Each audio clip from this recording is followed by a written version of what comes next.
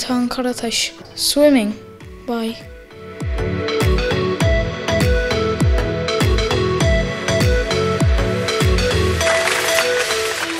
Hi there, my name is Metehan Karataş. I am a third grader in Erciyes Primary School. I am 9 years old. I am from class 3B. Today I am going to talk about swimming. This is my agenda. First, I am going to talk about equipment for swimming. Then, I am going to explain the equipment for exercise. Then, I am going to say all the swimming styles like freestyle, backstroke, breaststroke, and butterfly. And then I am going to finish my presentation. These are the equipment for swimming. The first equipment is the goggles. It helps we put the eye parts on our eyes and the strap on our head. The second equipment for swimming is the swimming cap. We put it on our head. The third equipment for swimming is the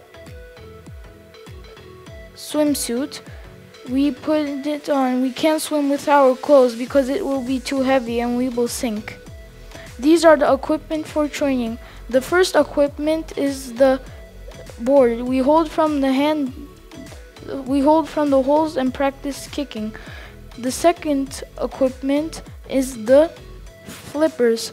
We put it on and it helps us to kick faster and properly.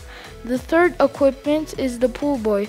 We put it all the way up between our legs or all the way down between our ankles and practice our arms. The fourth equipment is the hand pallet. We put the hand pallet on our hands and it helps us to go faster when we are using our arms. The fifth equipment for training is the snorkel. We put the mouth part in our mouth and the strap on our head, and if we need to take a breath, we take it from the tube that comes out of the water. And the last equipment for training is the swimming bag. We put all our other equipments inside it. This now I am going to talk about the swimming styles. The first style I am going to talk about is the freestyle. We get on the starting block and we put one foot to the back and push ourselves and get in the water in an angle. Then when you did two or three dolphins, you start doing the freestyle. Your feet have to be scissor kicking all the time. Now the second swimming style I am going to talk about is the backstroke. We it has a different starting position as freestyle. We hold from the iron bars which comes out of the starting block and we put our legs to the wall and then uh, we push ourselves and then we when you did two or three dolphins you start back you start the backstroke your feet have to be scissor kicking all the time, like freestyle. The third style I am going to talk about is the breaststroke. It has the same starting position as freestyle. We get on the starting block, push ourselves, and get in the water in an angle. First, when your hands are on your head, you take them down.